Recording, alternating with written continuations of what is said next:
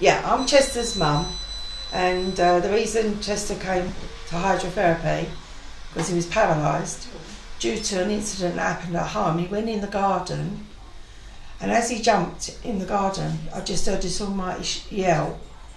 So we had to get him to uh, Vets for Pets because um, we had to get him in there, and they referred him to Fitzpatrick's where they did the surgery. Unfortunately, they did the surgery.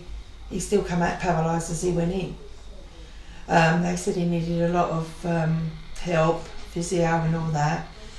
Uh, unfortunately, I couldn't do it all. It took four weeks. I was in such a state, and I rang up hydrotherapy in Hainault, and um, they said bring him down. I did the assessment, and um, they said they would take him on as an inpatient.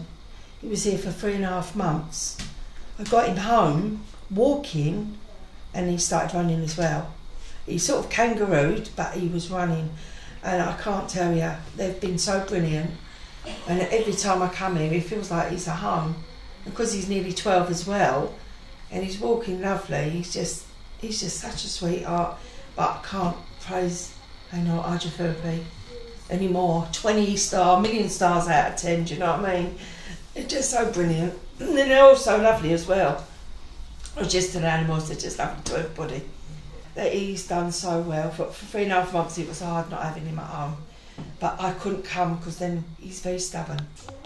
So unfortunately, if he'd have gone home or I'd seen him, he wouldn't have done so well. But they've all been so brilliant. For him to walk, it's a miracle because he would have been put to sleep.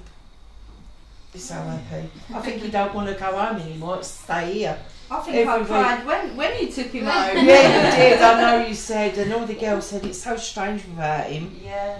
But he's just part of the abs- family, yeah, aren't you, Chester? yeah, definitely. I just don't know what I would have done. He would have been put to sleep, and I would, because there's no.